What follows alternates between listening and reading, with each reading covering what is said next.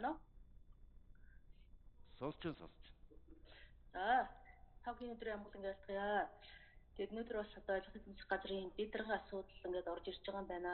Зарчмын хувьд би бас зөв зурглаар хилцүүлээд ингээд орж ирж байгаа нь бас зөв гэж ингэж харж байгаамаа. Ер нь одоо ажилтны тэмцэх газарт бас тодорхой хэмжээгээр одоо удирдлагын зохион байгуулалтын хувьд бас тийм зарчмын хувьд өөрчлөлт орж байгааг бас харж байгаа энийг одоо бас ард түмэн бас өөрөө бас үнэлж байгаа гэж ингэж бодож байна. Баштай дараагийн хувьд ч гэсэн бас тодорхой хэмжээгээр одоо бас өдрөө зохион байгуулалт шинжилж хийсэн гэдэг дээр би бас санал нэг байдаг.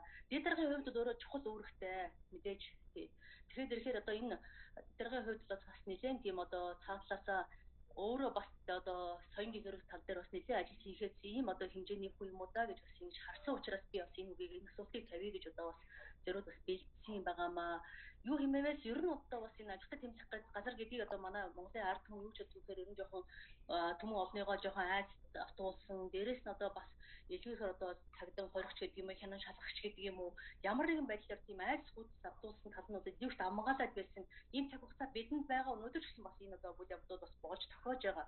Тэгээд ирэхээр ер нь одоо манай ажилтны тэмцэх газрын дэд дарга гэдэг өөрөө бас ямар нэгэн байдлаар санаа санаачлыг өөрөө бас гартаа авч дээр нь энэ ард түмнийг одоо соён гэрүүлэх тал дээр нь ер нь буруу бодлого дээр юм уу, буруу үйл явдал дээр өөрөө соён гэрүүлэхтэй үйл явдлаа бол одоо зохион барих ийм учиртай чиг үүргийн одоо бас тийм тушаалтан байх ёстой гэдэг тал дээр би бас саналыг байгаа учраас өнөөдөр одоо гаваас ингэж одоо бас Монголын ард түмний бас танд болсон энэ одоо ямар нэгэн байдлаар соён гэрэл тал дээр үйл ажиллагаа явуулж ирсэн энэ хүний одоо одоо өөр хүмүүс бас орж ирж байгаа юм байна гэж би бас одоо харсан гэдэг буруу хараагүй бол а дээрэс нь бол энэ чиглэлийн үйл ажиллагааг одоо илүү явуулаасаа гэж хүсэж байгаа учраас хэрвээ өөрөө чинь бодоод яг хөө ажиллаад ирсэн одоо намдар түүхий чинь би бас одоо сонсож байна а гэхдээ одоо хэрвээ яг энэ чиглэлээр одоо юу хий гэж ингэж бүтээ гэж бас бодож байгаа вэ?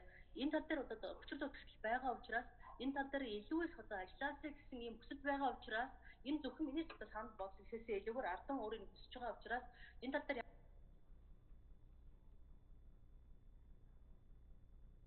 За 85 Аз жаргал нэр дэвшиж аз жаргал